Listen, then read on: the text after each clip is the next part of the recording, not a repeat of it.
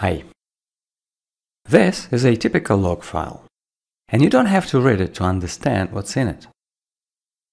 Look at this.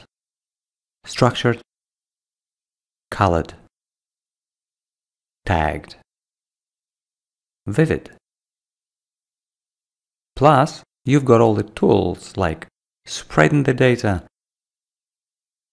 slicing it, classifying it, filtering, and so forth. So how do I do that?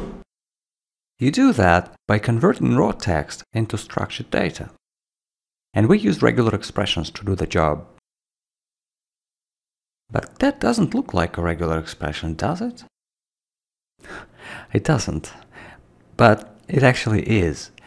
We just make it easy for you by wrapping it up. Regular expressions are tough.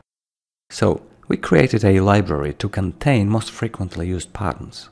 What I've used previously was this pattern. It's built out of several other patterns, and each of them is a building block to be reused with other expressions. You can extend the whole library by adding your own patterns to it, share it with others, and even test. So, once you create a pattern of your own log files, the whole process becomes very simple, like this.